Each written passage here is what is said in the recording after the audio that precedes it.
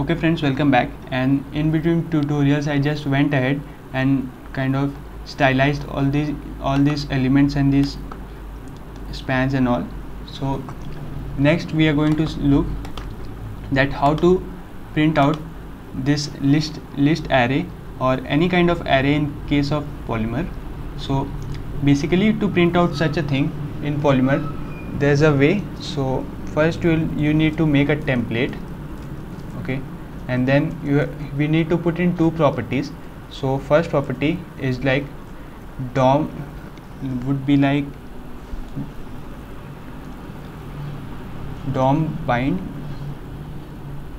dom repeat repeat. And the next property would be like items.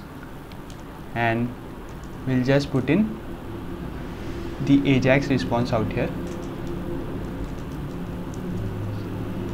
okay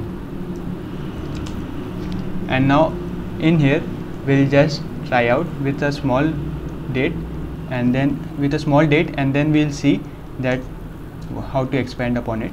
So I'll just type in item dot date. So I just type date this way because in the list property in the list array we see that date is given in this format. Date object has been referred to in as dt so we'll have to type in here dt also. So let's see let's refresh and see what happens. Okay so nothing happened. Looks like we have missed something here. And okay.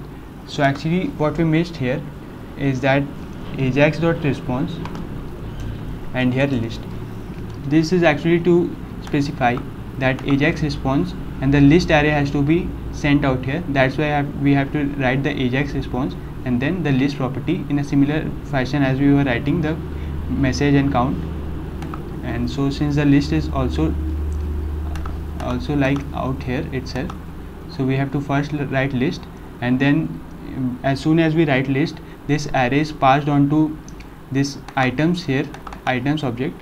And since items would be like something like plural and to just singularize it we have to then write item and then we have to we can then start looping over the array.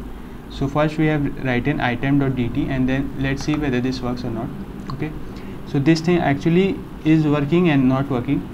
Actually what we forgot is to put it inside a span tag.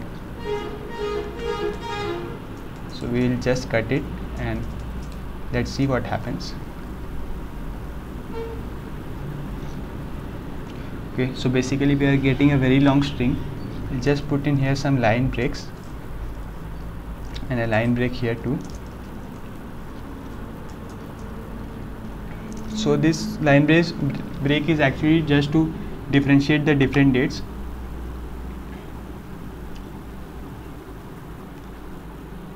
okay so we now see that everything is working fine and we'll go ahead in the next tutorial and just kind of make this whole weather app a lot better by adding in adding in all these required properties and see and see what things we can do next. So definitely subscribe to the channel and please like the tutorials. Thank you